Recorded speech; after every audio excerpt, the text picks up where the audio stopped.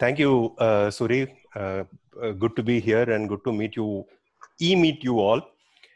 Um, I'll start uh, with Satish with your uh, permission and Divakar with your permission. Let me uh, start with uh, saying, I, I would like to say that, you know, this is one area of law which many might think I want to address the demon first. Many think that this is not a, probably may not be relevant at this point of time. Current scenario. Why is it relevant? Do you really need to bother about some branding some trademarks? When the very survival of all the businesses around because of covid is becoming very difficult. It is difficult. Many people have shut down. The economy is in doldrums. Is it really required now. But I just would like to share an anecdote with you all. That some 15 years ago, I uh, I was absent from Madras High Court for five years. I was I did my masters in US and I was working for a law firm in Delhi. I thought I will visit, pay visit to the Madras High Court and make uh, meet my friends just one or two days and then get back to my work. So as I entered the High Court, the first one of the first people that I met was one of my classmates. I won't name him. One of my classmates who just I met him after almost probably five six years uh, since we started practice, and he came up to me straight and said, "Hey, nada pandra." And I'm part of. Uh, I think uh, at that point of time I was working for a law firm called Lawrence City in Delhi. I was based out at Bangalore. But I'm a, a part of a law firm. What area of law do you practice? I said IP IP na insolvency I said no intellectual property அப்படின்னா then he said then I told him say there are the trademarks patents copyrights the answer and the reaction that he gave stuck in my mind even till date he said trademark bakilani it took me a while to get out of that shock. In fact, uh, I still remember one of another well-known lawyer, Ashokapati, who was walking towards me to greet me on he heard this and he just took a step backwards and he left. This was 15 years ago. Maybe there's a little more awareness now but i think the situation hasn't changed much. And at this relevant point of time i would like to start with this question. Is this area of law relevant? Just to connect to you all the very purpose of this discussion. It's going to be a discussion. Why is it relevant? I, I, as far as I'm concerned, the law of trademarks is more relevant now than ever for the simple reason. This is the time when, when all this ends, we would like to get back to get back on our feet, get back to business, open our business, reach the consumers as early as possible. And at this point of time, if you, the intention of every small trader would be to get as close as possible to some well-known brands. And you know they just want to make the business which is not wrong. I mean in the sense I, I need to make money because i have no money for the past few months. But doing that you would most definitely get into the wrath of all those well-known brands. And this is going to be a start. So if when you start if you know what this area of law is all about, if you know how to go about branding yourself, how to value your brands, how to create that market for a and a strong brand when you start again or resume again, I think this will take you in the right direction. Satish, what would uh, what would be your thoughts on it? Exactly, because uh, in this lockdown, what I felt personally was when we went to the market, when we wanted to purchase things, all that we could get were not the brands that we are generally used to, but we got many uh, products which are very local uh, in nature. So, which uh, made me think that the localized brands are the ones which actually sustained us through this lockdown or through this current situation. Therefore, there is more visibility for the smaller brands also. It's a blessing in disguise for them, perhaps. And uh, I think the the uh, situation after this lockdown will be where the starting lines are redrawn and practically whether the bigger brands or the smaller brands will essentially start off from that situation where there is a lot more visibility to even the local or the smaller brands as such. So in that sense, yes, trademarks are more relevant today and much more relevant where the brands or the where the trademarks have to start afresh so that they will uh, invest in their time, money, and effort properly in identifying a good brand, in making it reach the customers, and over a period of time become better. Yeah.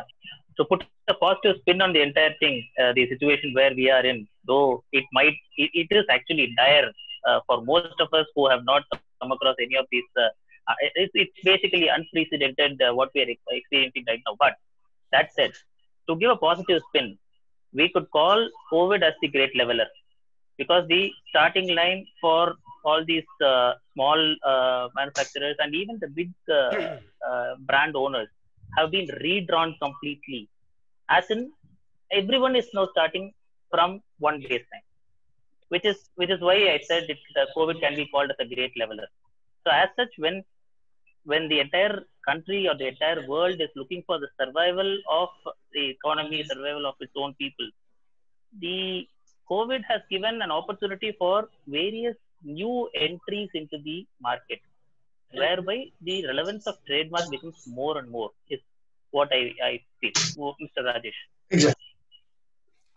Fantastic. So that takes us to the foundation of this very discussion. This is not, see, all three of us decided this is going to be sort of a discussion to lay down the fundamentals of trademarks. So the next question is, what is a trademark? what is the role of a trademark? What is a trademark? Look at the device that is on the screen now. There is a Hanuman flying. How many of you can think of Ramayana? How many, and probably I think this is the uh, device on the flag of uh, Arjuna and, uh, for the Pandavas in Mahabharata. Correct? But I don't think at least majority of the people would not think of Ramayana or Mahabharata or Hanuman in that aspect. But they will think of this, the next slide. Satish? Yes. When you look at the character or this particular device or the image of Hanuman carrying uh, the uh, uh, uh this mountain, what comes to your mind is ABT parcel service. The connection to the source. It indicates the source, a trademark, the device of Hanuman indicates the source from where it originates that is the basis that is the role of a trademark a liaison between the product and the author of the product. Now having said that if at the end of this discussion if we can all leave you with an idea that okay this is a law of trademarks this is a subject of trademark which all of us could practice and all of us could easily understand and there is no hard and fast rule as far as the law of trademarks is concerned i think all of us would consider this uh, a successful uh, presentation. And therefore this identic identicity of the trademark to the source takes you to the other interesting uh, uh part of uh, this presentation. I just want to touch base on the historical background you know, if you all, uh, what, whoever is uh, uh, uh, sort of aware of these laws would know that the trade, all these are commercial laws, uh, laws in commerce, would know that all these laws actually originated from England. In fact, if you look, I mean, uh, the trademark as we know it was started by the kings when they branded, or I, I would say they would put a chapa on a cattle the trade a mark on the cattle to identify. Therefore, the, uh, uh, the saying to each uh, calf his to each cow his calf. This is where it all started. But coming to think of it, Satish, can you think of something similar in our ancient history? Can we take this concept of trademark in our ancient history? Sure. In fact, two things. Um, when I see Hanuman, uh, as far as this particular uh, trademark is concerned, it is almost 100 years old, is what I understand. When we were trying to do research over this particular trademark, it is almost 100 years old. So that is as well, that is as ancient as you can get. But uh, actually, seeing Hanuman in Ramayana, Hanuman takes a ring of Lord Rama and presents it to Sita when she is in Ravana's uh, palace. And that is when she understands mm-hmm. that this person who looks like a monkey is actually a messenger from my man. What it actually does, or what, what the ring actually did at that point of time, was identify Hanuman as a messenger from Rama.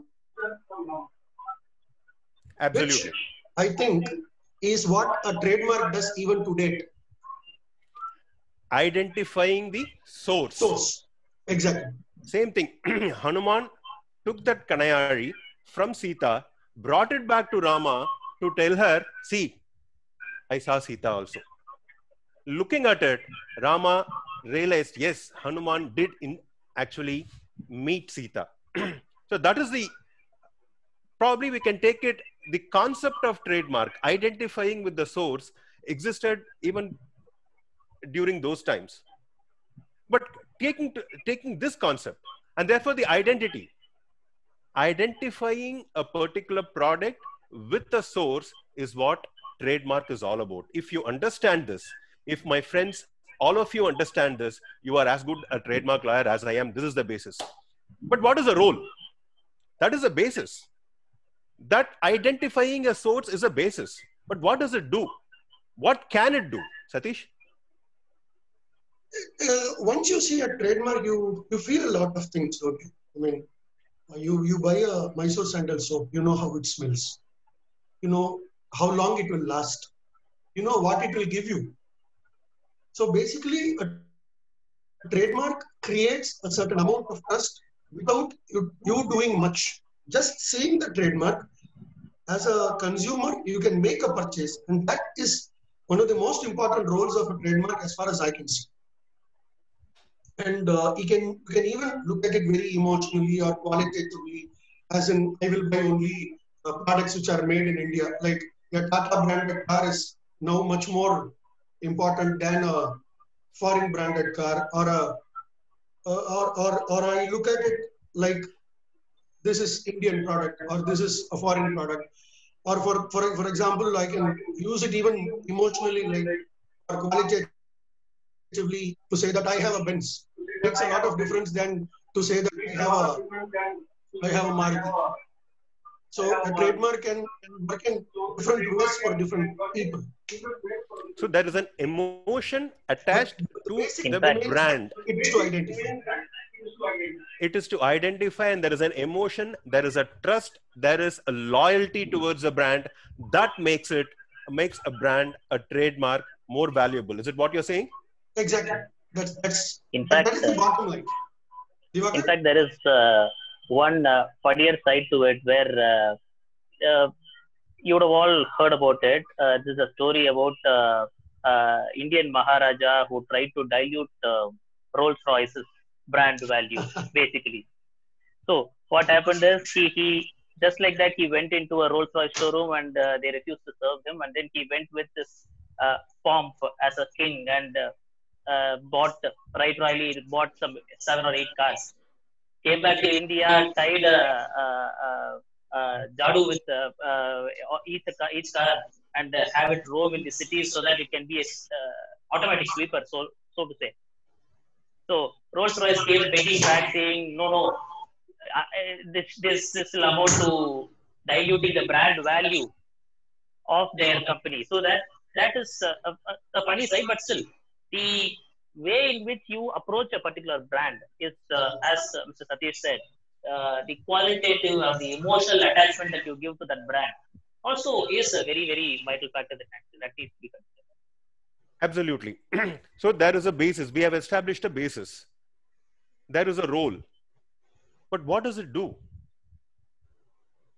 Now, if you look at this, there is we have put a question mark. Non-territorial rights. What does it do? Well, let before going into the non-territorial rights, Satish, let's touch base with property rights. Why is trademark a property? Just like any other intellectual property, we call it an intellectual property. Why is it a property? All all these products are basically properties because you can own them, you can deal with them, you can sell them, you can franchise it. Just like your corporeal property, you can do the same thing with a trademark also. So it is property in a very proper sense, and calling it an intellectual property is the most appropriate thing.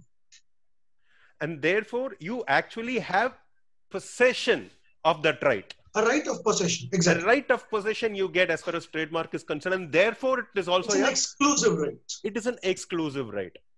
And again, you it is non-territorial, is it? No. Please continue. You, you wanted to say something. The non the, the reason why we say it is non-territorial is simply because a trademark used in one country is as good a trademark as another. In fact, today we are in a very globalized situation where, in fact, there have been judgments also of the uh, of the Indian courts where they recognize that trademarks used in one country is sufficient for it to be protected in another. In fact, later we will see a concept called well-known trademark, which actually says you don't have to register, you don't have to use in India. But that's another aside. But the reason why we call it territorial or non-territorial is that trademark is used as such globally, but the rights are confined to territorial. In fact, uh, yes, uh, it uh, a trademark which is uh, basically a property and it is bound to a particular uh, territory and uh, the right per se. How do we get it? The right of a trademark, you get it from the moment you start using it. That is the key element of a trademark right as such. The possession and the use gives the trademark its asset it's it's it's a quality as an asset so apart from this what uh, what else do we have to consider as far as the basis of a trademark is concerned Wait, sir? I I just want to com- uh, comment on the non-territorial rights. You're right.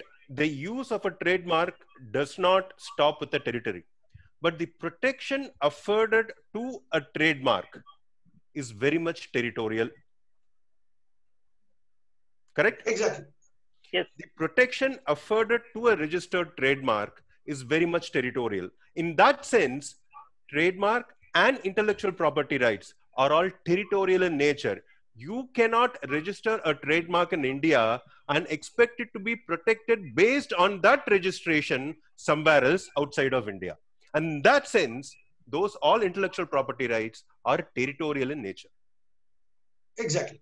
correct and now that brings us to what do we do how do what what how do we get to a trademark now we know the basis basis is to identify the source you identify it it has an emotional value it has a qualitative value you create the trust but how do you do that what are there kinds of trademarks are there what are the trademarks that you can have These are the trademarks that you can have. Fantastic. Anything, technically, anything under the sun can be a trademark. You can have a name like Castrol, Tata, Wipro. You can have a logo, a letter, a signature. All these. Next, uh, can you go to the next one? A number could be a trademark. The packaging could be a trademark. The shape of a bottle, the shape of anything could be a trademark. The color, or the any of the combination of all the above could be a trademark and therefore my statement anything under the sun could be used as a trademark. But what does the law say? What does the act how does the act define a trademark? I mean we, we have established the base now. Let us touch upon the official or uh, definition of a trademark which is provided in 21zb what are the essential parts uh? In fact, uh, if you look at the definition, one thing will become very clear that the legal definition says a trademark is something which is capable of distinguishing the goods or services of one from the other. So essentially, it remains that it remains something which distinguishes your product from that of another. For the legal purposes, it also adds that it should be capable of being represented graphically and a trademark should indicate a connection between the product and the trade. So that goes to the base to indicate the source. Exactly. So therefore, Yes. the definition of a trademark as per the Trademarks Act, uh, uh, we uh, right now we have in uh, Trademarks Act of 1999. It says it has it should be capable of distinguishing one good or service from those of the other. Why? To in- indicate connection in the source, connection to the source.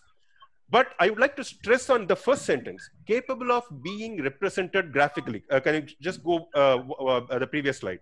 Go to the previous slide, Satish. Capable of being represented graphically. Uh, friends, please note this down because we, we will go go back to this particular sentence in just a short while when we are when we will be discussing unconventional or non-traditional trademarks capable of being represented graphically. See all the list of uh, uh, marks that we showed to you the mark the number the letter the signature it can all be represented graphically. We can write it describe it we can produce it in writing. But there are certain marks where it is not going to be easy to represent graphically which we will discuss in just a short while.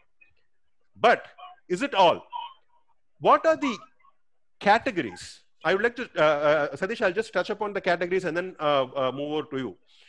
What are the categories of trademark described or provided under Indian law? There are three categories. Section 9 talks about three categories distinctive, descriptive, generic.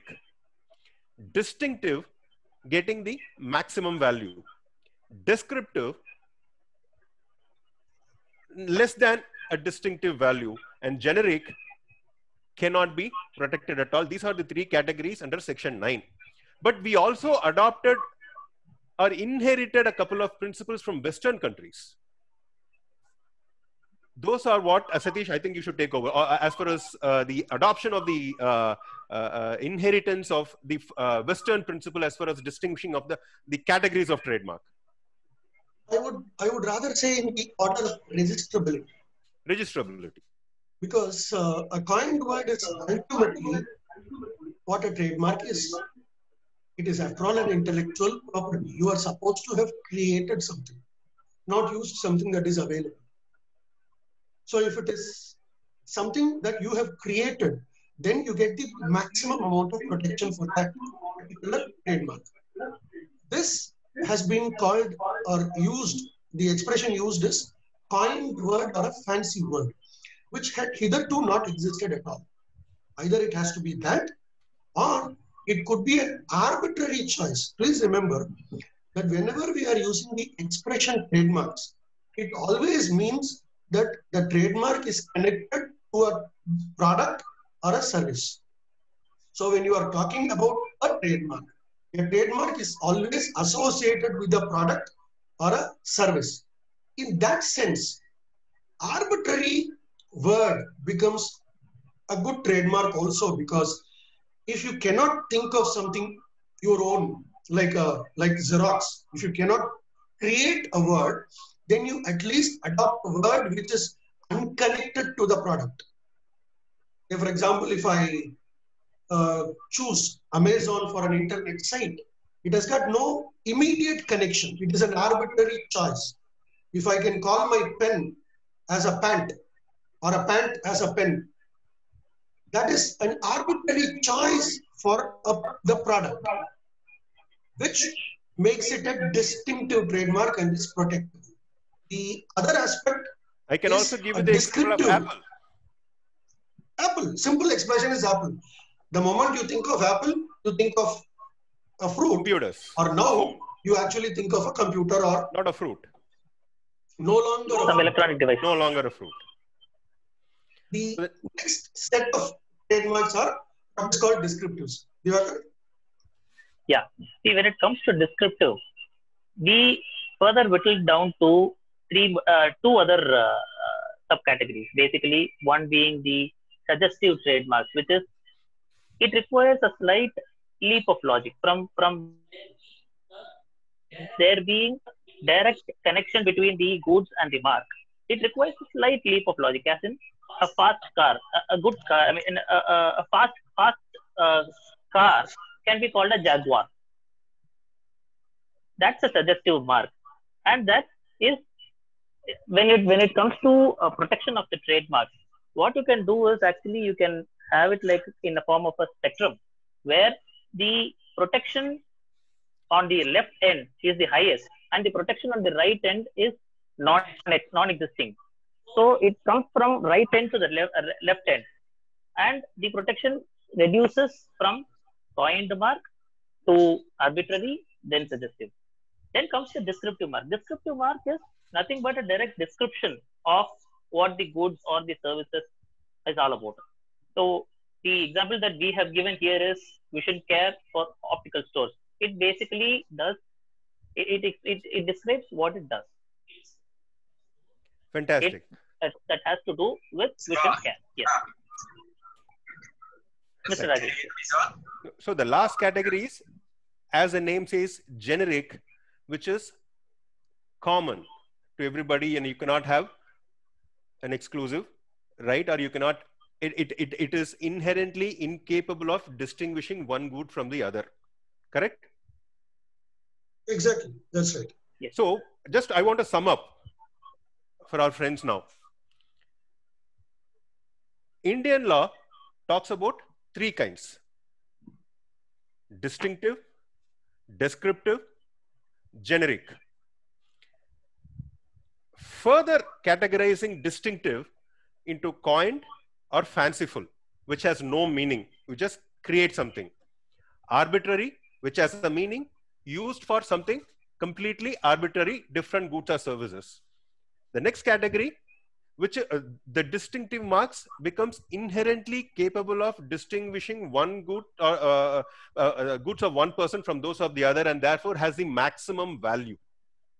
Descriptive marks, again cate further categorized into suggestive and descriptive.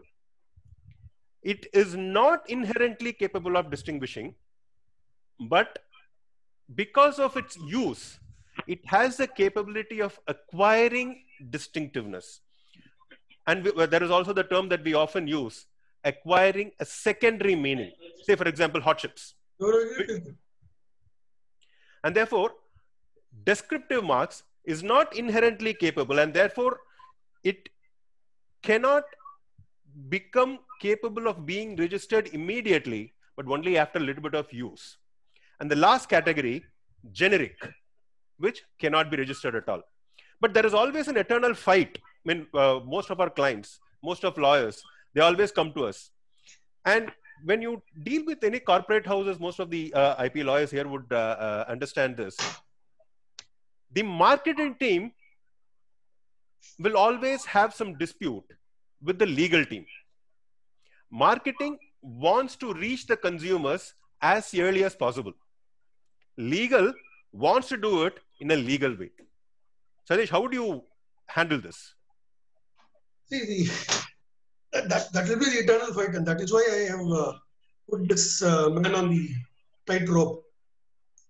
That, that, is, that is something that needs to be resolved at some point of time where you use a descriptive trademark over a period of time, acquire a distinctiveness, and thereafter get a registration because it's possible.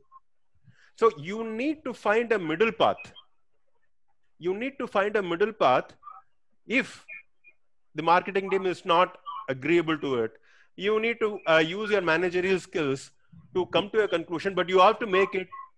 That, that is that, that there is no option that you cannot make it legal. I mean, you cannot make it not legal. It has to be legal, but it has to be in such a way that you will have to walk a middle path if there is a dispute. Just to uh, uh, uh the reason why descriptive marks cannot be chosen as a trademark immediately is simply this. It is not capable of being protected unless there is a secondary meaning, eh, unless it acquires distinctiveness, and that takes time it is not easy. it is it is not easy for because the market is so global now it is not easy for any descriptive mark to suddenly become uh, uh, distinctive just in a matter of uh, days or months. It takes years. And therefore the first choice should always be distinctiveness. But if, if descriptivity is what it is then you will have to choose a middle path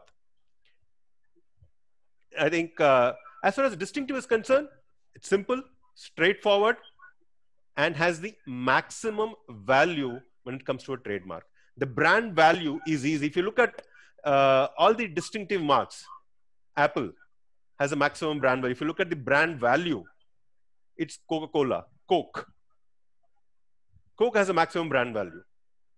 IBM. All these distinctive marks it's easier for them to acquire the brand value than the marks which are descriptive. But I would like to take, uh, uh, Satish, let's go to the generic uh, marks now. There is this example. There are marks which were once very famous. Say, for example, please look at the list that we have provided. Escalators. Would you all believe that escalators was once a very famous trademark? Cellophane was a very famous trademark. Aspirin, Mari tea biscuits, they were all trademarks, not anymore. They are all become, they all, all of them have become a generic trademark. Why? Let us go back to the role of a trademark, the basis of a trademark to indicate the source. Basically, a trademark is nothing but a liaison between the product and the author of the product. When I say product, I also include the service. But when this but this role changes instead of a, a, mark instead of identifying it the source if it identifies with the product it loses its trademark value escalators became so notoriously famous consumers started identifying with the activity of elevations so the very yes.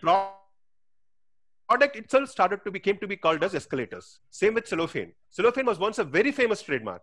But because the consumers start it became so famous consumers started identifying with the very product itself and it lost its trademark value. And therefore the lesson here is whether a trademark is distinctive or descriptive there is always the distinction between the product and the name should be maintained the best example satish you uh, we have mentioned xerox as a distinctive mark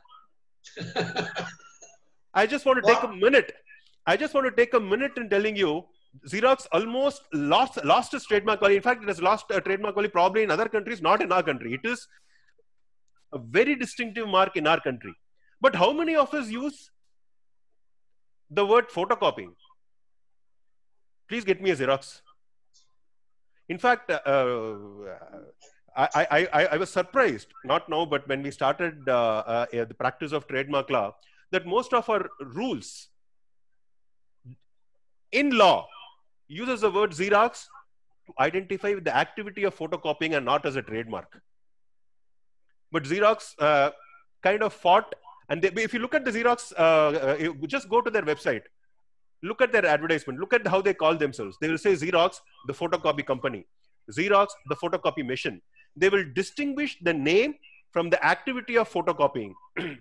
and thereby they retained the value which is a trademark value and when once this value loses once it merges with the very product it loses its trademark value it becomes generic and it becomes the name of the product which can be used by anybody and everybody and therefore you will see uh, when in fact uh, the, the, the right around the corner of our office there is vedantam xerox it is an activity it lost its trademark value in fact Star. uh, Xerox actually goes after all these people. They actually goes after all the people, Not and many. there are a couple of uh, litigations still pending for them. And they very successfully they have retained their trademark value, and therefore this is very essential. So the takeaway here would be that uh, when it comes to association, it is always a one-way traffic where the mark has to associate only with the uh, source and not the product. If that one-way traffic gets deviated, so to say, then it becomes a havoc. Exactly. it loses its value. It, it stops being a trademark. It becomes a product or a service. And therefore, Satish, let, let us just go about what law says, what the Trademarks Act 1999 says as far as marks that cannot be registered at all. Absolutely. Apart from the descriptive trademarks which are prohibited under section 9.1, what is also prohibited under the Trademarks Act absolutely is that which causes confusion with the members of the public. That is, it cannot be similar to whatever is earlier a trademark. And it cannot have, this is a very common ground, like it uh, should not be hurting anybody's religious sentiments.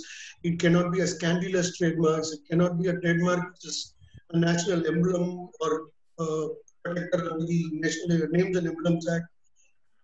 And interestingly, Section 9 specifically talks about shapes being trademarks and says that shapes which are functional cannot be registered at all. Very good. But I want to take a moment. the- Satish, I want to take a moment on the national emblems. I think there are a couple of very interesting uh, uh, uh, cases on national emblems. What do you think? Huh? Examples. Examples on national emblems. Khadi? Yes, Khadi we cannot use. Khadi is a registered trademark of the government. Correct. So, and, in fact, uh, I, I remember uh, this particular example, if uh, which I was uh, uh, dealing with for some time. Karnataka has a royal. Uh, when Ma- Ma- Mysore Maharaja used to use a royal insignia of a twin-headed eagle. This goes to their mythical history as far as the, the story of Narasimha is concerned. That bird is called Gandaberunda. The royal insignia of Mysore Maharaja is this Gandaberunda, a, a eagle with twin head, two heads, a twin-headed eagle.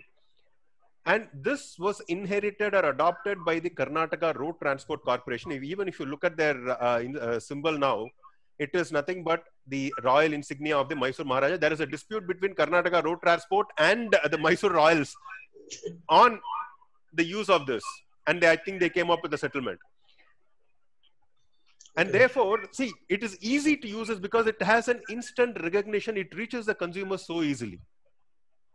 So these are all absolute grounds of refusal as far as Section 9 of the Trademarks Act is concerned.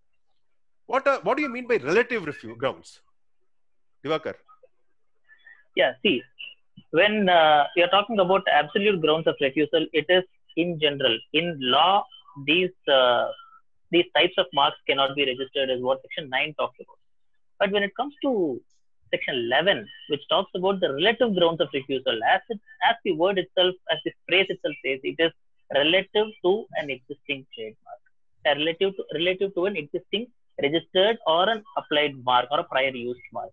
So what section 11 talks about is that a certain marks which are similar to or identical with an earlier existing trademark, those marks cannot be registered in respect of identical goods or services, or if it is a well-known trademark, a concept which we will be much more deeply analyzing in a in in a few minutes. When it is a well-known trademark, you don't even have to look into the goods or services in respect of which the well-known trademark is used. Across the bar, across the uh, board, well-known trademark can be uh, and nobody can use the well-known trademark basically. So that's what section 11, uh, 1 and 2 talks about. As far as 11, 3 is uh, concerned, it brings about uh, common law principle into the uh, relative uh, refusal. Basically, there are trademarks which are registered. The, the trademarks can also be unregistered. An unregistered trademark will still have a common law right, which we will also be dealing with in a much more detailed manner in a, a few minutes. That right which an unregistered trademark as is a common law right at sort of passing off, basically. So, a passing off, uh, I mean, uh, uh, an unregistered trademark can also be protected by the passing by the principles of passing off and also under the Copyright Act. So that's what Section 11.3 talks about. And uh, these are typically uh, grounds that are brought up in an opposition proceeding, where uh, any third party can stop another person from registering a trademark which is similar to theirs, which will be which are covered under the various provisions of Section 11. That is basically what all about saying the is, wha- wha- basic- what- basically what we are saying is when you look at a trademark when you look at choosing a trademark choose a distinctive mark as um, um, the, uh, uh, as we discussed a, distin- a distinctive or descriptive and make sure it is not similar to something which is already existing earlier. that is the bottom line so what is the takeaway from this satish take over better create something your own. Don't copy from somewhere, something somewhere else. I think that, that's that's the bottom line. Uh, in, in and simple. trademark law, you create something that is your intellectual property, and besides that, you you also should take care not to create something from as a spin-off from something else. For example, uh, the trademark Wipro, VIPRO, may not have a meaning anywhere in, in any language, but yet it resembles very closely to an earlier trademark. So you cannot use even a created word if it is similar to an earlier trademark registered or unregistered.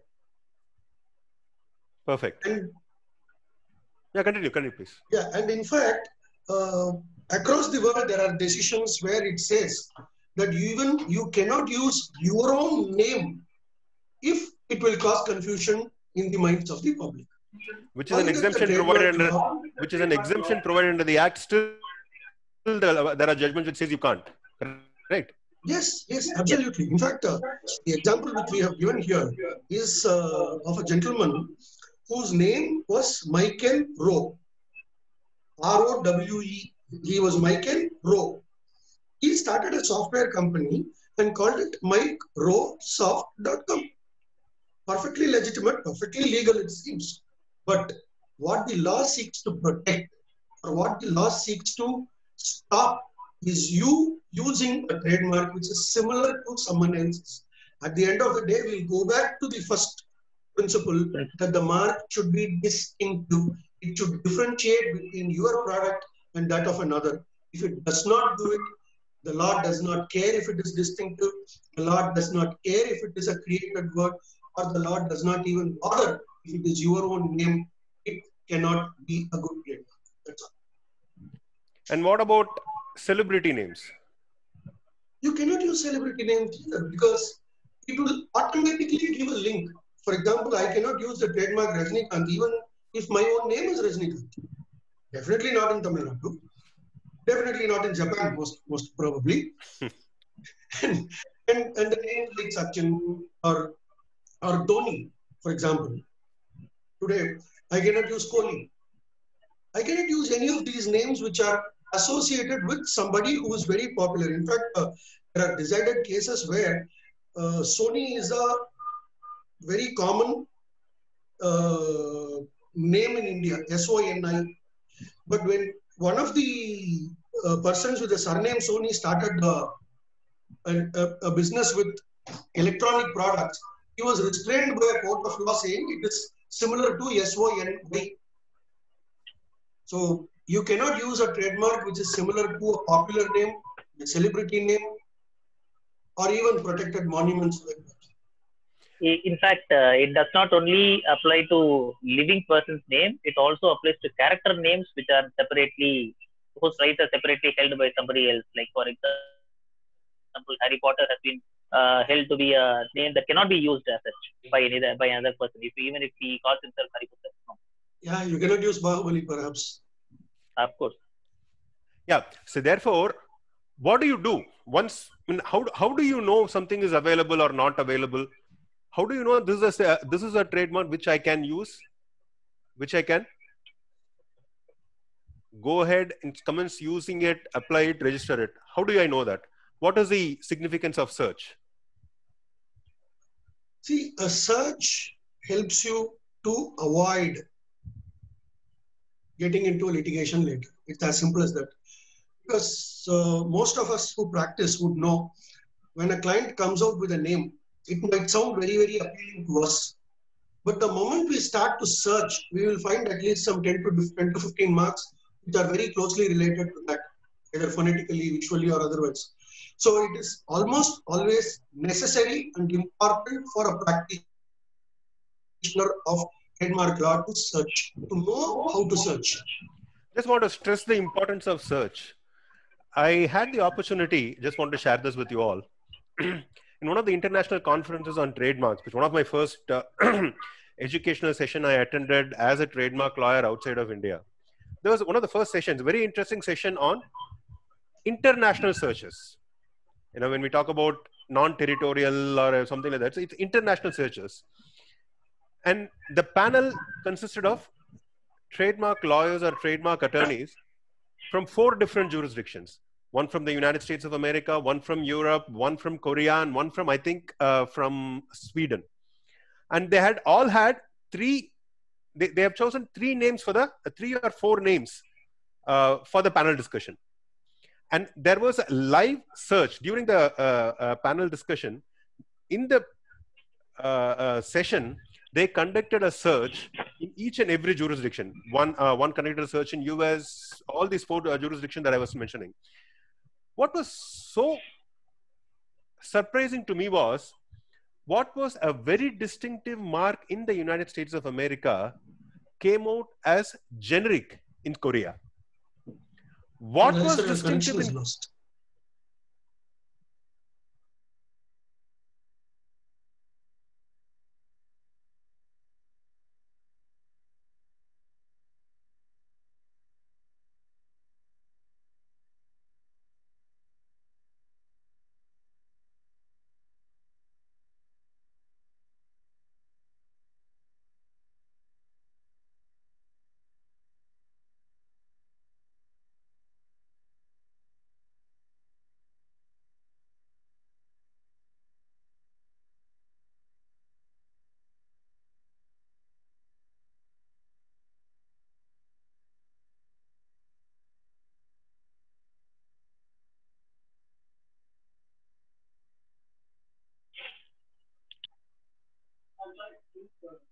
Sorry for the interruption.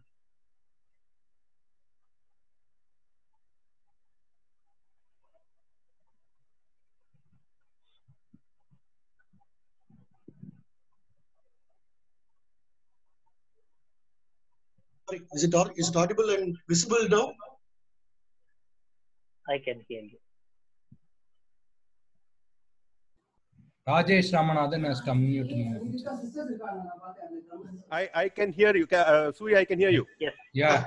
Right now it is okay. Please go on. Yeah. So, what I realized at that point of time was when I was, uh, the takeaway for me in that discussion is that a search is very essential. And more important, if you want to take the trademarks to global, if you want to trade globally, each and every jurisdiction, you will have to start with a basic preliminary search. Satish, you can continue. I just want to share that with you. In fact, then I had an experience where uh, there was a trademark uh, which was written as P-A-R-U-T-T-I for clothes. I thought it was something like an Italian brand, and later I realized it was nothing more than Paruthi. Paruthi. Cotton. cotton. Paruthi means cotton. So uh, it, it, I mean, probably in Italy it will, go through as a good trademark, but in India it will probably described as a descriptive trademark. So search is essential. So yeah, when it comes to search, when it comes to search, it uh, it becomes very uh, necessary as to uh, how we go about the search because a search has to be done based on the class of goods. So before we get into the question of what is actually how the search has to be conducted. We need to understand the basis of classification. So classification is nothing but uh, every single uh, class of goods, every single, uh, I mean, uh, goods or services under the sun have been classified into 45 classes under the uh, Trademarks Act, as far as the 99 Act is concerned. So uh, 1 to 34 classes deals with the goods and 1 35 to 45 deals with services. So everything under the sun can be actually brought under these 45 classes. So you will have to first ascertain as to which class your goods or services falls under. But there is then an interesting start, thing which I would like to share. Uh, just go back to the uh, previous slide, uh, Satish, uh, on the classes. 1999 Act in 2003 it extended to services. We brought in that 35 to 45. What was this? Let's share. What was the scenario before the service marks? Because it was really confusing. Most of the hotels would not have registered as a hotel or a restaurant, correct? Yeah, they registered it for food. They registered it for, For food food, product. product. So service marks were available only under the 1999 Act, not under the old Act. And now, from uh, initially it was only until 42, and then now it has been expanded to 45. So 1 to 34 are From goods, 35 to 45 are services, and every good and every service under the sun is available in these 45 classes internationally. We follow what is called the law follows what is called as a nice classification. Nice. Nice, nice. Nice. Some say uh, uh, uh, nice. I'm I, I I am an American return. A nice classification. Um, a class. Uh, So we had this. Uh, we, we had this doubt, so we had to check the phonetics of the word as such. Nice classification. Nice is, uh, of course, the classification Nice coming from uh, the uh, city of Nice. France. But anyways, so this is what I just wanted to sh- uh, share this about the class. Satish, continue. Yeah, how do you do the search actually? You you don't do the search for the exact similar word. In fact, the trademark office has three options. Words which start with a particular word, or words which contains a particular word, or the words which resemble a particular word. So there are three options given in the Trademarks Act search itself. So which will essentially be covering marks which are identical or similar to your goods. Please remember these two words, identical or similar, because this is exactly how the infringement provisions are also. The, the infringement provisions also deal with whether the marks are identical to yours or similar to yours. So the search will necessarily be have to be done for both identical words as well as for acceptably similar words.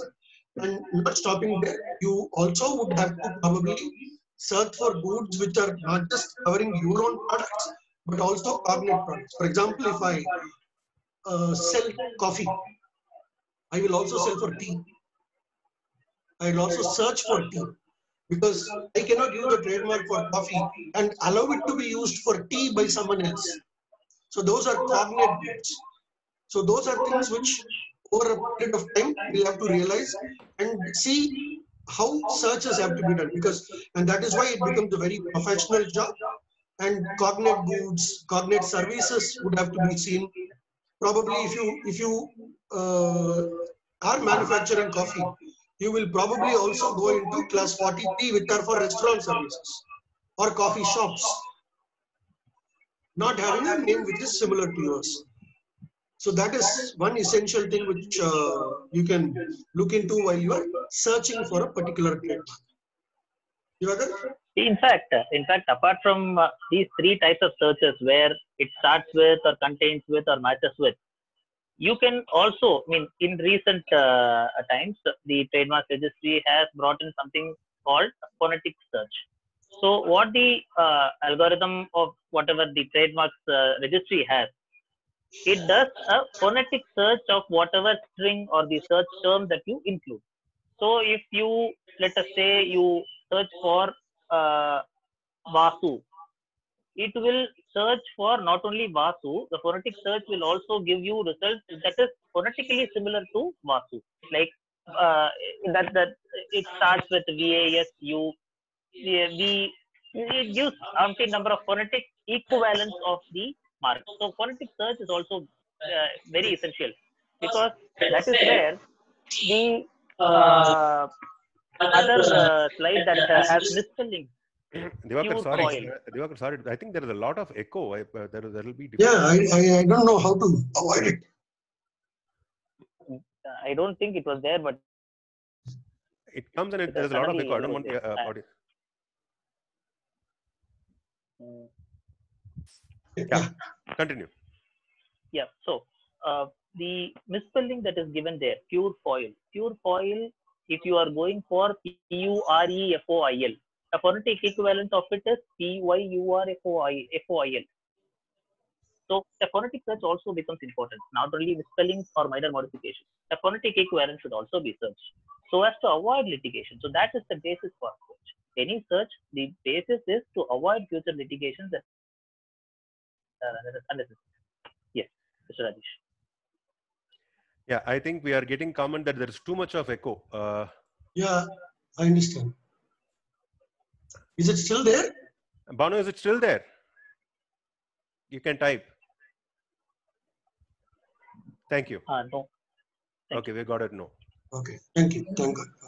I think we'll probably get Uh, Satish, Closer to you can screen. mute your speaker out uh, to hear out from uh, for, out- from outside Yeah, yeah, yeah. because you are wearing a headphone. Yeah, yeah.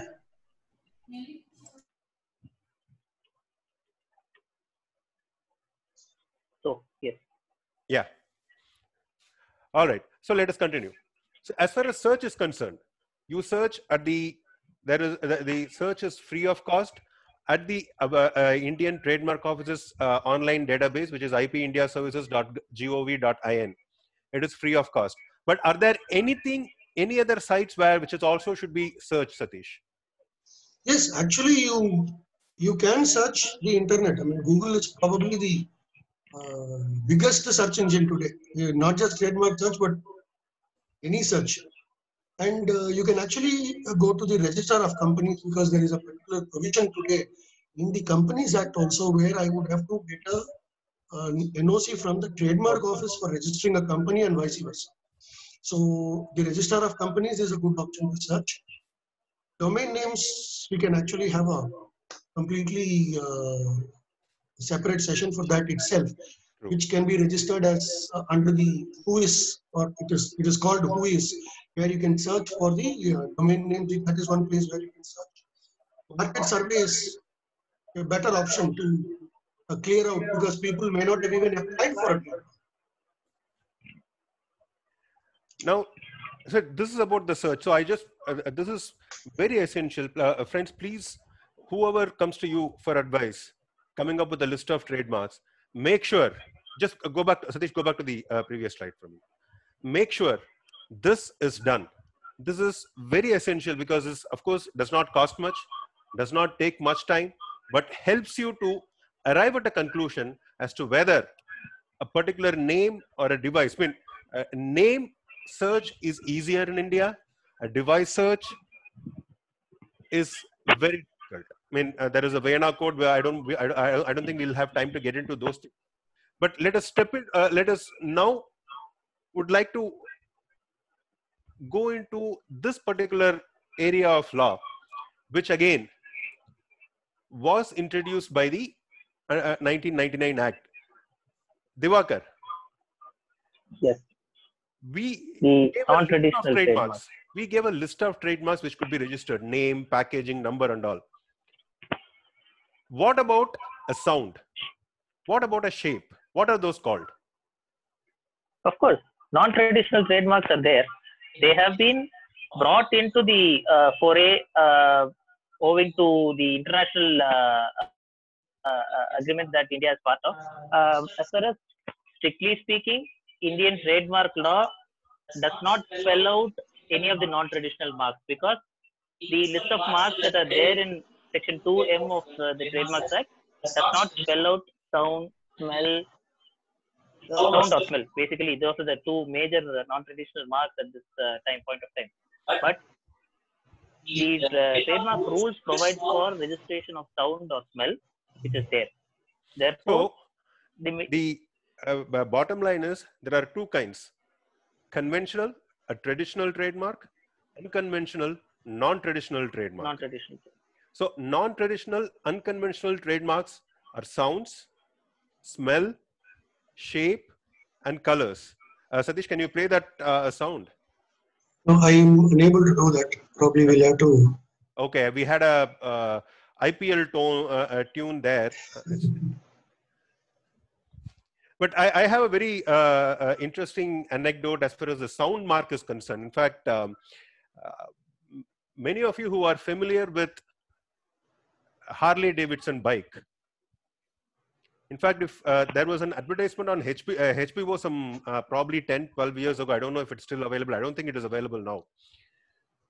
The advertisement goes like this An empty street in New York, and very old, blind African American, a black man, was attempting to cross the road. He will hear a sound, he will stop, the sound will pass by, and he will say, Harley. Just to establish that the sound could be identified with the source. Something similar to what we have in our country, the bullet sound. In fact, my uh, uh, teacher in US would used to uh, refer to the Harley Davidson sound as a potato sound. Keep uh, uh, repeating potato, potato, potato, potato, potato, potato. That becomes uh, the Harley Davidson sound. In fact, Harley Davidson applied to trademark the sound of the engine, saying it is unique. But for some reason, they withdrew that application later. I don't know why. And therefore, a sound could be a trademark, a smell. All the cosmetic companies, uh, in fact, uh, I think uh, there are two registration in India of uh, uh, unconventional trademarks for a sound, Sound and smell. So all these could be registered. But the problem here is, but the problem here is, I, this is where I want to touch base on the definition of a trademark. If you remember, we said it has to be graphically represented. How would you graphically represent a sound? How would you graphically represent a smell? An eternal problem. In fact, uh, uh, Satish, we should share about uh, the. Uh, I think there was a case in US where they tried to give the chemical formula for the smell.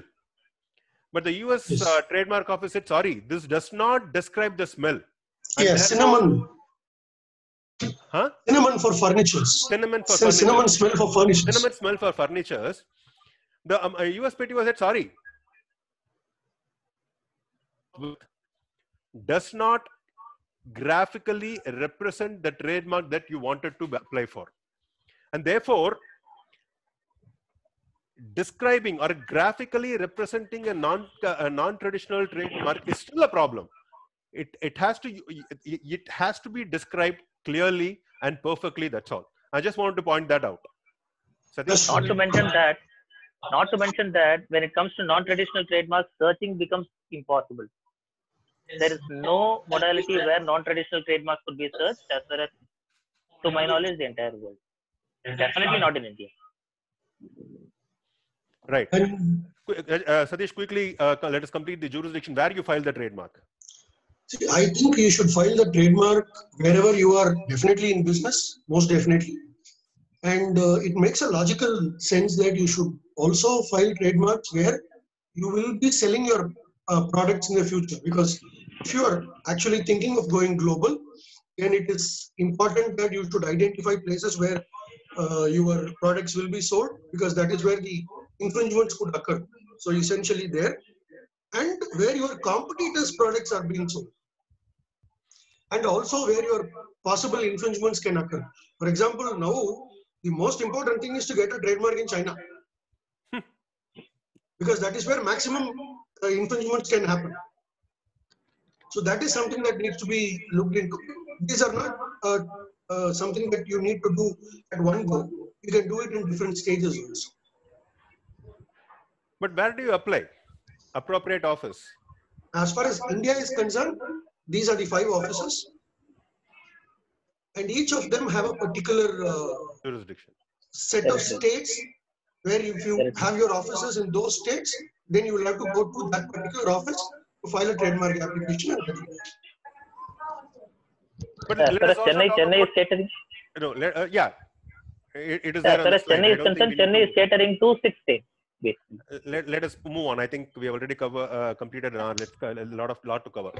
So there is something that which I wanted to. Uh, yeah, Satish, let's complete this. What what what documents you need to file? I mean, these are there available on the uh, website trademarks. I mean the, the uh, IP website that we shared.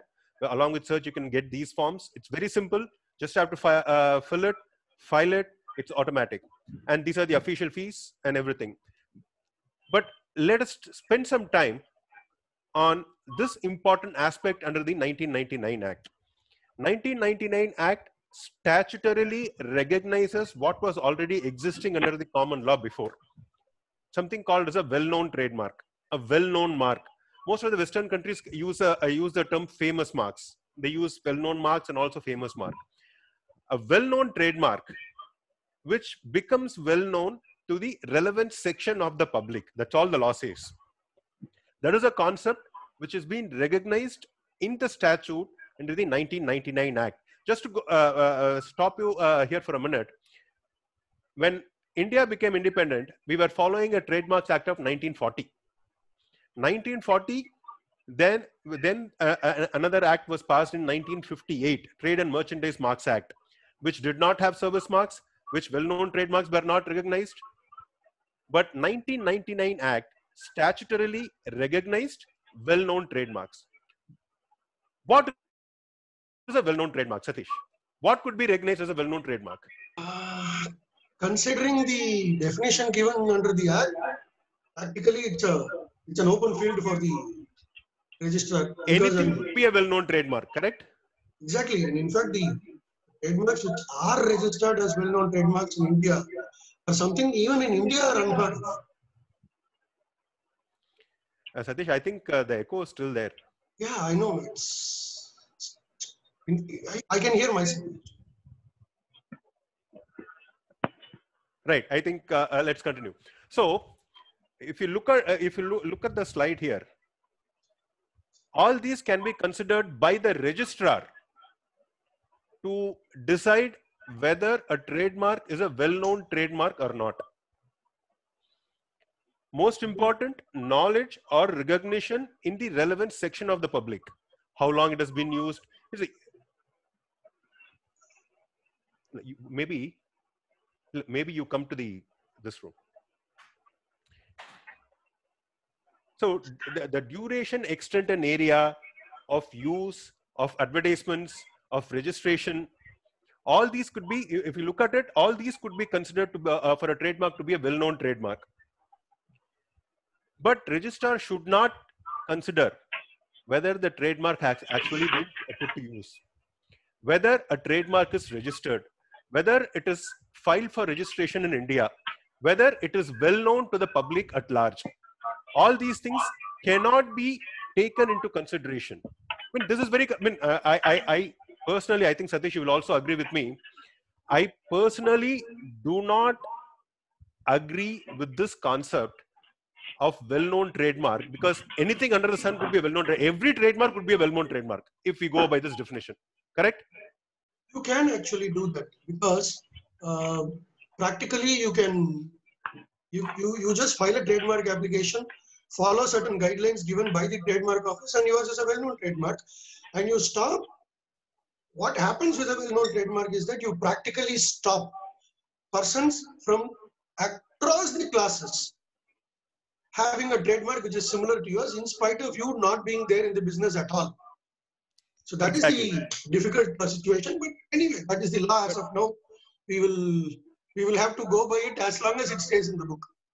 Let's let's This is this is uh, not only this is not only against uh, the uh, uh, law, but it is also against equity because Supreme Court has been time and again telling that big fish cannot eat a small fish. Now registering, having registered it as a well-known mark, a big fish will eat a small fish, no matter Very what. true, very true, very true.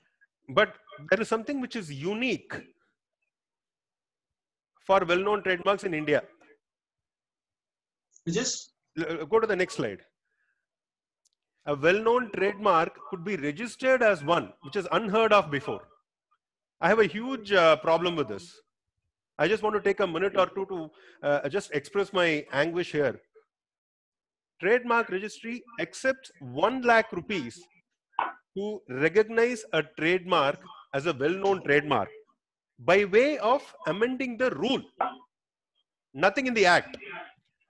There is nothing in the Trademarks Act which says a trademark could be registered as a trademark. The act only says a mark could be recognized as a well-known trademark so that a well-known trademark is protected against misuse by infringers. That is the purpose of a well-known trademark or a famous trademark. But surprisingly, the Indian Trademarks Act recently, probably for the past few years, they amended the rule and they collect 1 lakh rupees to register a trademark as a well-known trademark, which to me is ultra vires the law, ultra vires the act. I just hope and wish that I have some client to say that this is, uh, please challenge this. I'm just waiting for this. Satish, what is your th- uh, thought on this?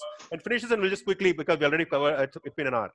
Yeah, I I want to sound politically correct here. Let's challenge it before and then speak. Yes, it, you you you actually can say that yes, because there is no corresponding provision in the act. Anywhere in the world, the rules. anywhere in the world, no other country registers a trademark separately as a well-known trademark, but except India. Okay, okay. Okay, so I, I, I this just want to uh, share this and throw this out to uh, all our friends that this is something which is unique, weird, but is available. So therefore, the procedure. Satish, why don't you? Uh, because of the time, I think we'll just skip Yeah. this uh, thing. The process of trademark registration is a well-oiled machinery. Uh, you file a trademark application, you get an examination report, you answer the examination report, and you, in if necessary, you will attend what is called a show cause hearing. Thereafter, the trademark is advertised in the trademarks journal, which is a Government of India Gazette publication, where from the date of the publication, you get four months time to oppose a trademark. You can, you don't need any particular reason to oppose it as long as it is within the uh, framework of the Trademarks Act. I don't need to have a business. I don't need to be a person aggrieved to be uh, uh, to be opposing a trademark. I can oppose a trademark even without uh, being in the business and so on. So I can uh, I, I can actually oppose any trademark if it violates the law. So that is what an opposition is, and an opposition is a very important tool to protect your trademark. It is not just taking litigations or actions in the court, but even in the trademarks, while trademarks are being registered, you can oppose a trademark and stop its registration, which will go a long way in a product reaching the market. So that is where opposition becomes a very important tool for a registered proprietor. Uh, let's let's quickly talk about renewal. How uh, uh, no uh, every intellectual property, be it a patent or a copyright, is va- is, is valid for a particular period. Then it falls into public domain. But that is not the case in trademarks. Trademarks is valid forever. It's it, right in perpetuity, but you need to renew it once every 10 years, which is very, very, very important. You have to review the, uh, sorry, renew the trademark every 10 years, and there is no expiry date. As long as you keep renewing it, it will be renewed. But make sure that uh, those trademarks are renewed, which are continuously being used. You don't have to keep a trademark, renew and uh, keep a trademark registered if you're not going to use it. So use is important. At the same time, only those trademarks which are in use has to be renewed.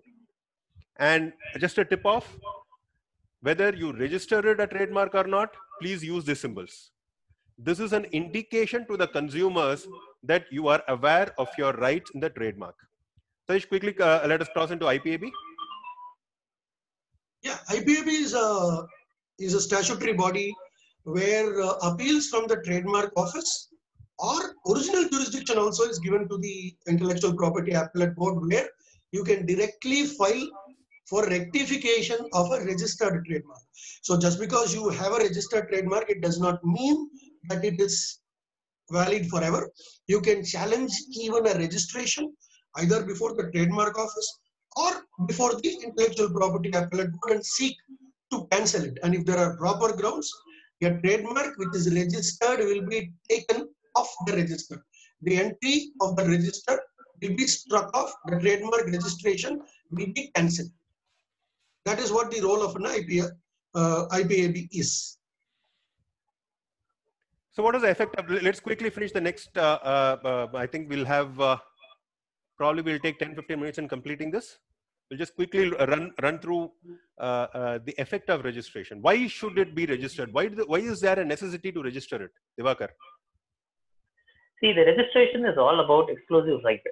When you register a trademark, it or the registration gives you an exclusive right to use, and not only to use, but also to stop others from using what you have registered in respect of those goods or services in respect of which you have registered. Therefore, a registration is all about you getting an exclusive right to use that particular mark in respect of those goods or services for which it is registered and also to stop them from others from infringing your from violating your right. That is basically what is what we call it as infringement. That is section 20. That is what the, the basic premise of section 28 is about. But what about an unregistered trademark? Will an unregistered trademark be defenseless? Will be without any remedy? No. The provision of law gives, I mean, the, the trademark act gives a very specific provision under section 27, which says that an unregistered mark can also be protected under the common law of passing off, which we earlier uh, uh, uh, talked about. Passing off is available to an unregistered trademark because passing off is rooted with a, a basic uh, judicial premise that you cannot use other man's property. Because it comes, comes from uh, common law, passing off is available to an unregistered trademark also. And what is the basic uh, advantage of a registration is that it gives you a prima facie evidence of validity. It says A is the owner of this trademark in respect of these goods and services. So this is a prima facie validity which will enable the court to immediately come to a conclusion that yes, you are the owner of the trade. You are the proprietor of the trademark. It is That more is of an the basic effect. it, it, is- it It is is more of an evidence. evidence. It is more evident evidentiary value of a registration is much uh, easier proven that the Yes. ownership rests with me. So that is the effect of registration, if at all. Fantastic. Let us talk about the concept that is available because now that we know registration is available, how do you protect it? Now we talked, we spoke about choosing a trademark, then applying the trademark, which are, we, spoke about the law, we spoke about the procedure of registering it. Now let's talk about maintaining it. That is again one of the most important uh, part of trademark uh, law. That is the practice of trademark law, which is maintaining, protecting a registered trademark or an unregistered trademark for the uh, uh, case. So these are the concept which you will very frequently hear if you're uh, in any of the commercial codes or uh, if you're talking about talking about trademark litigation or IP litigation or trademark litigation more particularly, these are the concepts that you'll very constantly hear: deceptive similarity, distinctivity, dilution, reputation, passing off, and registered user. And Satish, let's kind of go into talking about what law says on infringement. What Exactly. What is an infringement? In fact, as in, in, in terms of trademark, registered trademark. In fact, uh, section 29, which talks about infringement, is a very long section. In fact, I think that is probably the longest section in the trademarks. And 30. And 30, which are different. This Yeah. 29 practically puts anything used as which is closer to the registered trademark or an unregistered trademark for that matter would amount infringement. But the bottom line of all this, we have given the list of whatever is infringement here. But the bottom line of all this is will a consumer get confused? Will a man who is a customer with an average memory and imperfect recollection get confused when there are two products with a similar name in the market. That, and that alone is the object of trademark law. So I would like to uh, stop you, to Satish, that for a moment and just underline this standard test that are. I mean, this, this is the judge made test, right? A man of average intelligence with imperfect recollection.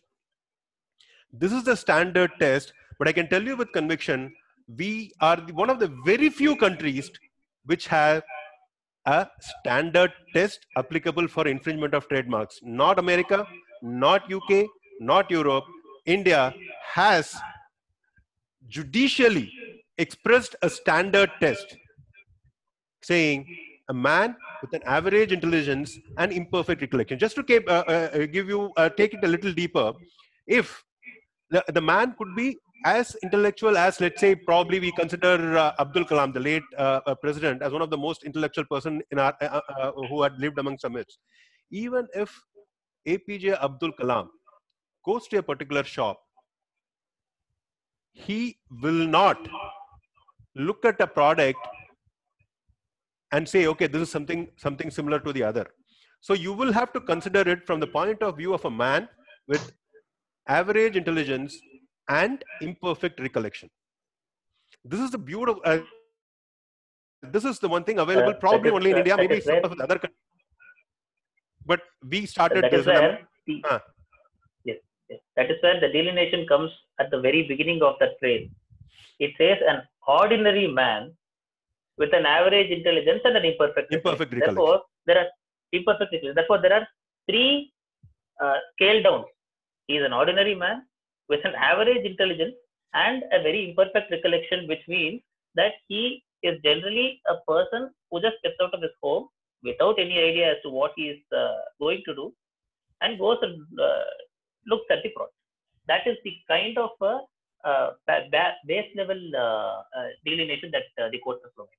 So to give you an underline, to, to underline this, only a registered trademark could seek infringement. Unregistered trademark, the remedy for an unregistered trademark is to go under the common law and stop use by way of an action against passing off. Correct? Exactly. So continue. Let's. What, what, uh, And uh, not just the use on the product, but use on a packaging amounts to infringement. Exposing it for sale. That is, it is not necessary that you that you have to be a manufacturer of infringing goods. Even if you sell infringing goods, you are still be liable uh, for infringement. So that is something which is made very clear by the statute. Because most often than not in trademark law, we will find that the actual manufacturer may not be traceable. In that cases, we, what we will definitely need to stop is the sale of the product.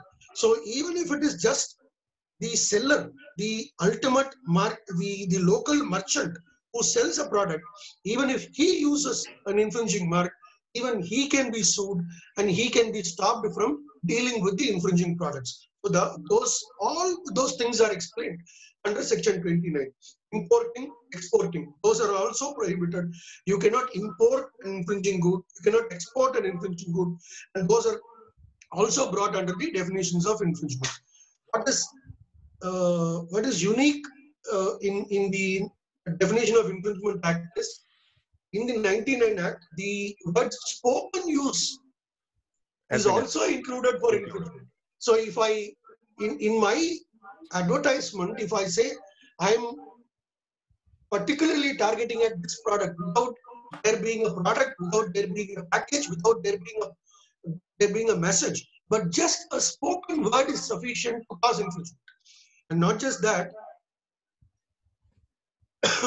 I cannot even demean a product by a disparaging advertisement. I cannot even say that that man's product is bad. I can say my product is good, but I cannot fact, say we can have a- we can have a two hour long session just on disparaging ad. So there's so many important, beautiful uh, cases that the principles of law which has emerged in the disputes against uh, disparaging advertisements. I think probably we'll have a separate session on that. Let's talk about the defenses now. Oh, Okay, I'll just uh, yeah. We just have some examples of the concept of trademark. Satish. and these are actually decided cases. In fact, uh, the two decisions given there, uh, SM Dyechem, Cadbury versus SM Dyechem, and which was overruled by Cadila. The Supreme Court in SM Dyechem, that is the first judgment, AR 2000 Supreme Court, said that these two trademarks which are on the screen, Picnic and Picnic, are different. They are not infringing. That was the decision of the Supreme Court. There, they made a conscious departure from the law which was there all throughout until then. It said phonetically the marks may be similar, but you look at the trademarks. I mean, they are not similar by any means. So therefore, they said there is no infringement. But within a year later, in uh, AR 2001 Supreme Court, Cadila, uh, there was a judgment uh, where Cadila was a party, where the Supreme Court said, no, that is not the tests applied in Cadbury versus SM Dyechem is not correct and they specifically overruled those things to say phonetical similarity cannot be jettisoned. In fact, I if I remember correctly, it is paragraph 19 of uh, the judgment of Cadila, where they specifically say phonetical similarity cannot be jettisoned. Here, the phonetical identity, picnic versus picnic. But yet, the Supreme Court refused injunction in one case, and later the law was resettled, and in fact, it goes back to the uh, the older uh, cases where uh, the Supreme Court specifically accepts the principle laid down in 1963 Supreme Court 449, where the two trademarks were Amritdhara and Lakshmandhara, where they say that is the principle that the Indian jurisprudence will have to follow. So that is that is the Uh, importance of let's this quickly look at the particular, uh, uh, uh, other uh, other uh, uh, yeah the visual similarity. You can see uh, uh, we are giving you the marks in dispute the labels in dispute the packages in dispute. Uh, each and every case will take you know it, it's so interesting to discuss each and every case but i don't think we'll have enough time to do this. Uh, we'll try and finish it. Probably we have probably another 10 15 minutes and we'll take it uh, for questioning then. Um, in fact, it is not just the So- similarity phonetically or visually, A even a similarity idea. in idea idea is sufficient to give. In fact, the uh, NS thread versus uh, James Chadwick. Chadwick is a 1957 judgment of the Supreme Court where they say eagle and vulture are two different birds, yes, but but yet convey the same idea is the idea which is conveyed. If the same idea is conveyed, even that amounts to infringement. So infringement is a very, very wide wide topic right so uh, let us let us look at the uh, this is dilution but yeah dilution itself will take another In fact, uh, this was an undergarment package. yeah. Right, sir? yes. In fact i remember because uh, there was another one in bangalore with a similar device.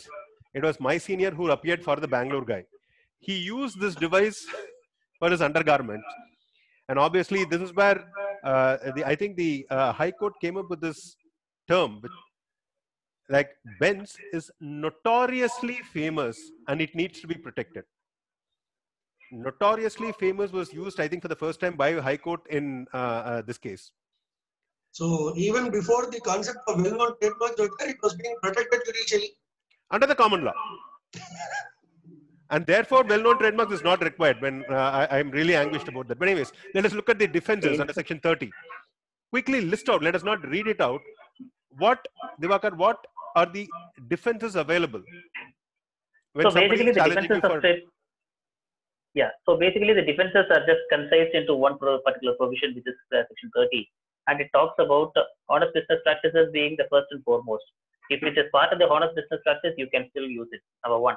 And uh, number two if it is indicative of the kind quality or intended purpose. So basically what uh, it harks back to section 9 Nine. which talks about the absolute uh, uh, grounds of refusal, where if it is a descriptive mark, a descriptive mark can never gain, uh, I mean, unless it is used. eh, The descrip- descriptive mark will always have a lesser uh, protection than uh, no, distinctive mark. So that is number two. Number three will be the uh, registration might be at times given with some conditions or limitations. So if a particular use of a trademark or a particular uh, use of a similar trademark is beyond and above the uh, conditions and limitations that are imposed, then that uh, usage will not amount to infringement. And then third one, I mean, the fourth one will be the permitted use during the subsistence. That is the use by uh, uh, in the uh, licensed uh, use or the permitted use of a trademark during the subsistence of the license. If the license is over, you cannot the, the owner cannot go back and say that no you used it on that day because the permission was still there. So uh, these are the basic and then the last one which uh, uh, ties uh, this uh, defense with whatever is already given the effect of registration in section 28 where it says when there are two or more proprietors using the mark using a similar mark both being registered proprietors as in they both cannot have a problem between each other but they will have only a right against the third party. So what it says is that inter se two registered proprietors. One cannot uh, file a suit for infringement against the other. And if this, if it is done so, this defense under section 30 will come into effect.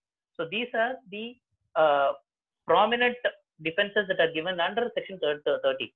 There are more under the other provisions also because apart from section 30, the next slide, apart from section 30, we'll have the uh, other provisions uh, where non-infringement is uh, discussed.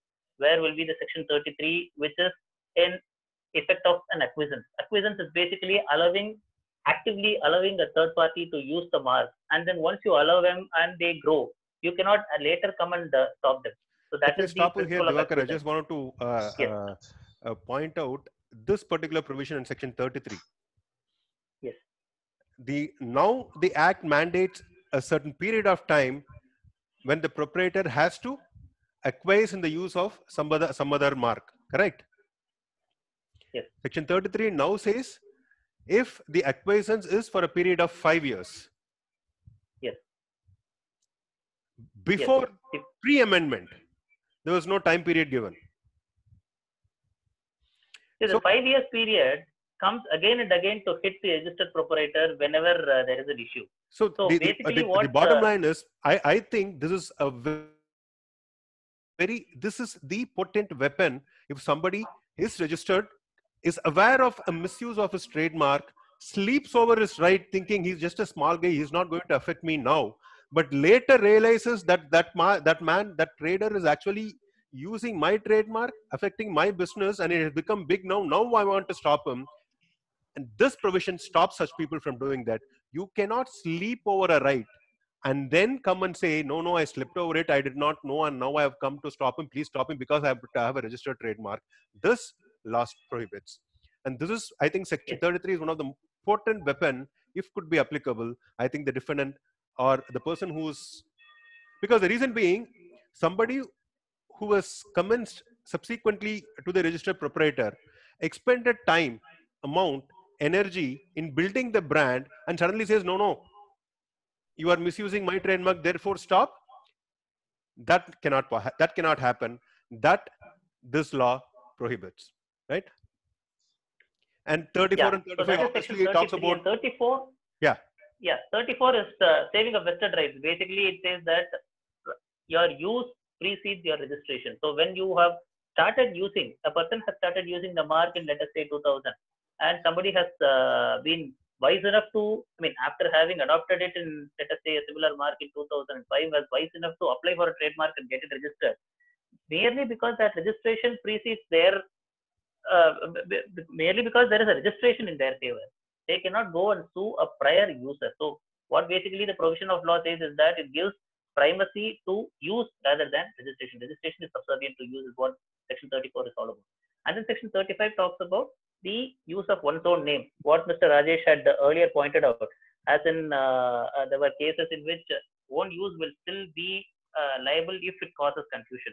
But still, the Trademarks Act under Section 35 gives a leeway that own use of one's own name or the name of the predecessor or the bona fide description of the character of the goods are uh, eligible and there is no infringement when that is used in that character.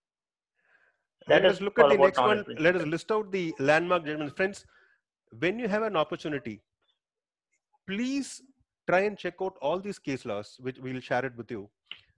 The first, probably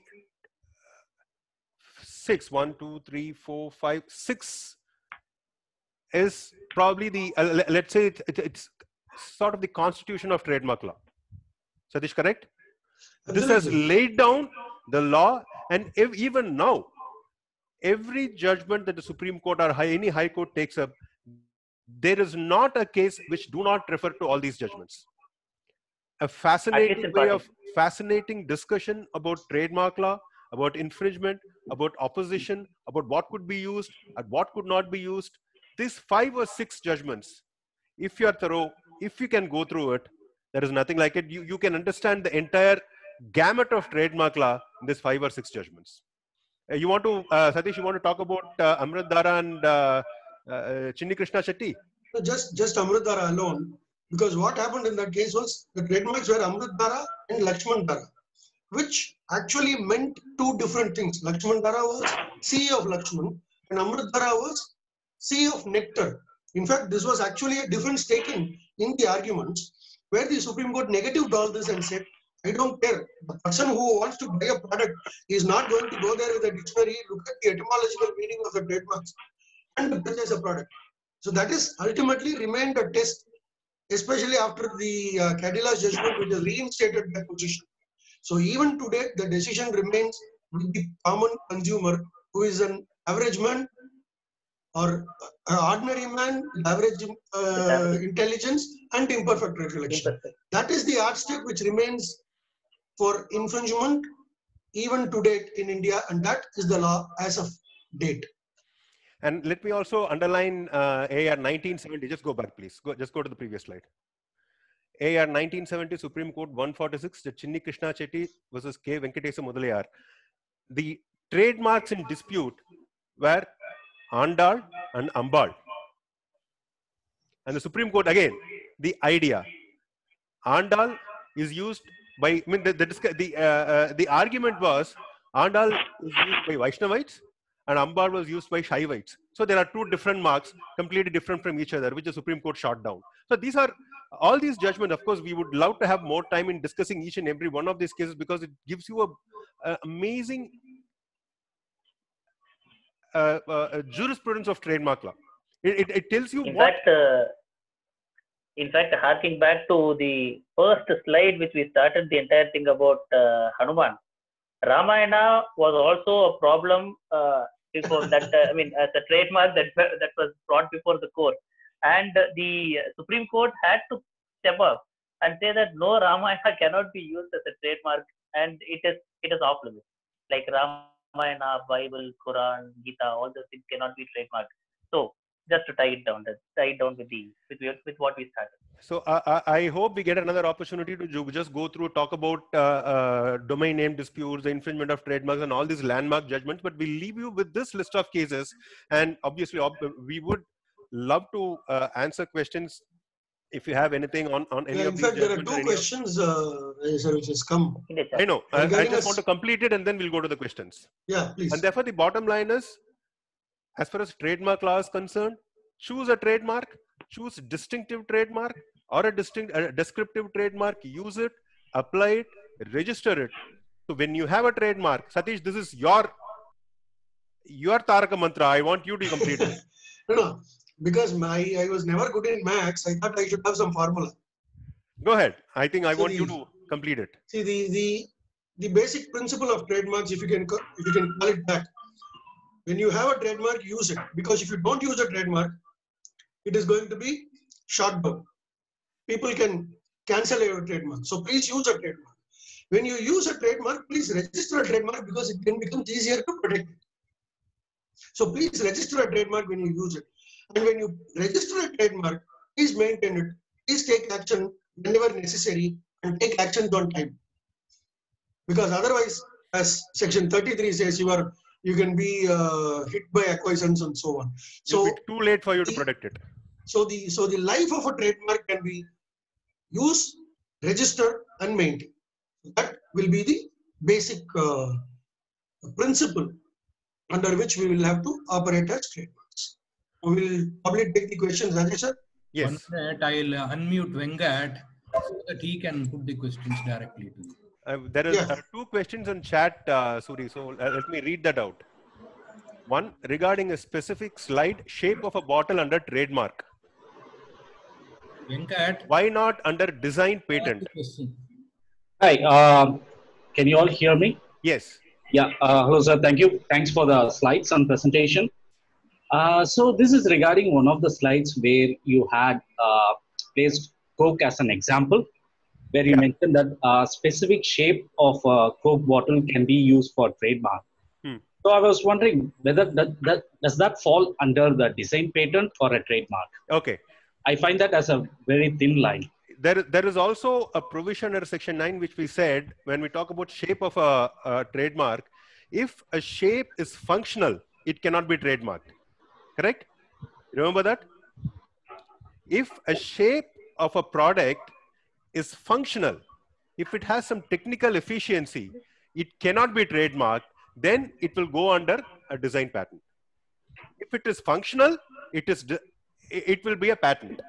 If it is just a cosmetic appeal, not Right. the, just a shape of a bottle, the industrial uh, uh, uh, production, then Right. you register it as a copyright under the Designs Act.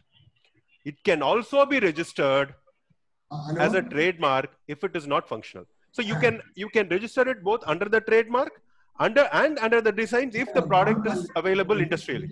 And also, also, I have a follow-up question. So I posted another question also. So huh. regarding uh, uh, logo or the trademark, uh, in particular in reference to Apple or Nike.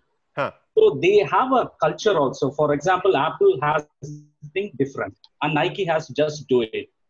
So when does overtake the, the logo? Because that reflects the company's culture. The company's culture by itself become a trademark. Satish, it is your favorite uh, topic, brand and trademark. Why don't you?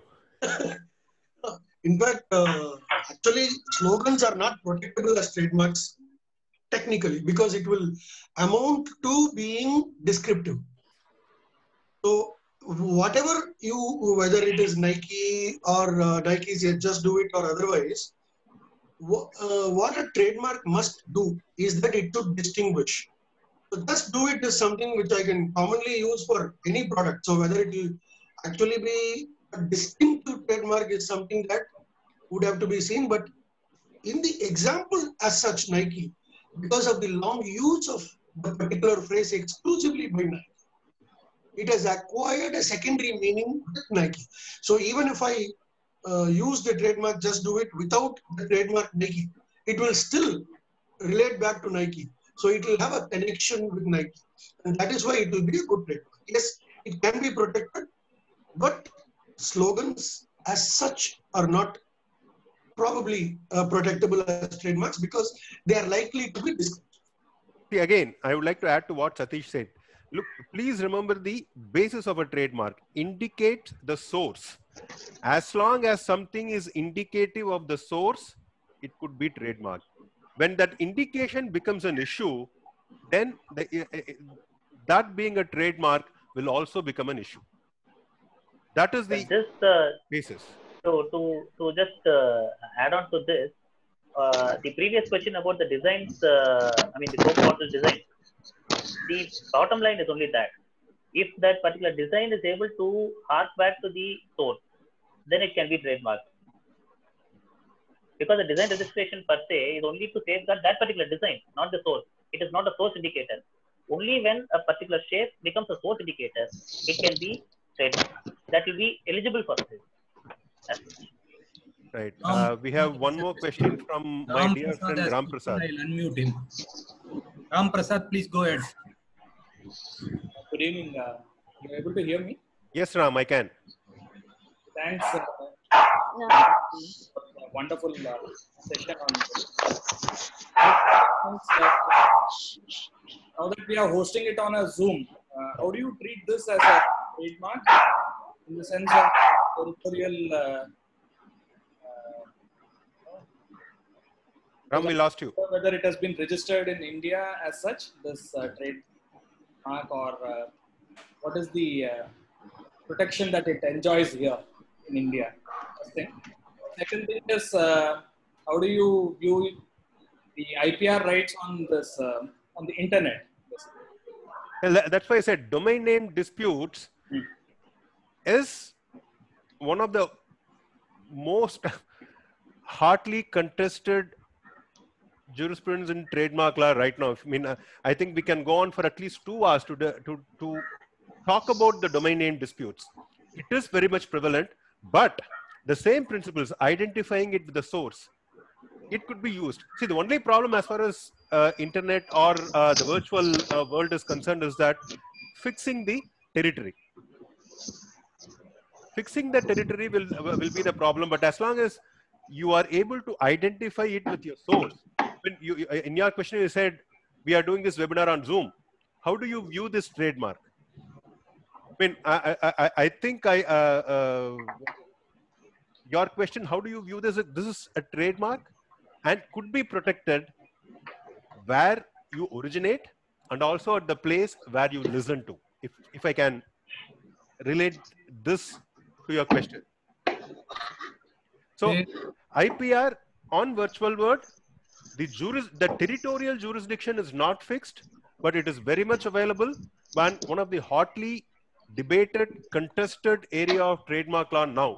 Domain name disputes are very, very frequent, and uh, uh, uh, in fact, I, I, I would say Madras High Court and Delhi High Court comes up with at least 10 or 15 cases every month on domain name disputes. Satish?